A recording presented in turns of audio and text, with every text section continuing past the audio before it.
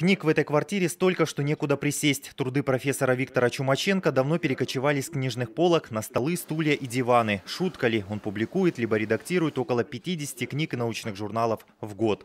Последнее, чем я занимаюсь, это издание полного собрания сочинений нашего казачьего историка Федора Андреевича Щербины. Оно выходит под моей научной редакцией с моими предисловиями, комментариями. Все чаще профессору Чумаченко приходится оставлять исторические труды и приниматься за изучение жилищного кодекса. Я выселился в эту квартиру, живу в ней уже почти 4 года не имею ни одного документа. Эту квартиру ученый совет университета культуры и искусств вручил профессору в благодарность за долгий труд. До этого Виктор Кириллович десятки лет ютился в общежитии. От того событию обрадовался, тут же из общежития выехал и даже приютил бездомную кошку. Чарли, Чарли, Чарли, Боится, плачет. Четвертый год им нет житья, и профессор, и его кошка бытуют здесь на птичьих правах. Университет культуры и искусств поспешил выписать Чумаченко из общежития, но прописаться в новой квартире профессор не смог. Администрация вуза отказалась выдавать документы на жилье. Мне говорили, что у вас все прекрасно, у вас все замечательно, вы напрасно паникуете. Вот Виктор Чумаченко просит вуз выдать положенный ему по закону договор социального найма, а это отказ. Снова письменная просьба, снова отказ. Недвусмысленные посылы администрации вуза Виктор Кириллович не принял и пошел дальше, чем ему указали, в суд. Согласно жилищного кодекса,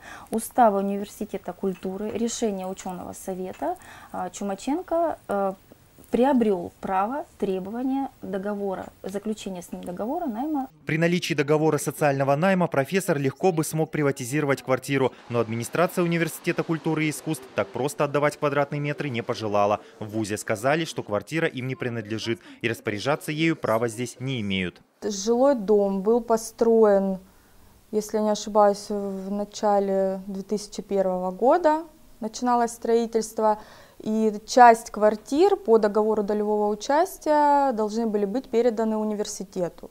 Имущество университета является федеральной собственностью, а мы являемся лишь его правообладателем. У адвоката Виктора Чумаченко другая версия. Акт приема передачи квартиры, о котором я вам говорила, согласно которого а, значит, ДСК передала спорную квартиру, в том числе Университету культуры. То есть данная квартира в настоящий момент находится на балансе Университета культуры. Преподаватель русского языка с трудом подбирает слова, чтобы описать ситуацию. В его богатом словарном запасе для этого случая нет нормативной лексики. Я считаю, что ВУЗ меня предал. Вот у меня такое ощущение. В любой момент они могут прийти, вырезать замки, двери, поставить что-то новое и все. Даже кошка Чарли боится гостей. Опять на улицу не хочется. Боится, чтобы ее выселять пришли, наверное. Евгений Вольский, Максим Иванов, Самир Гачаев, Нил Ракша, Девятый канал.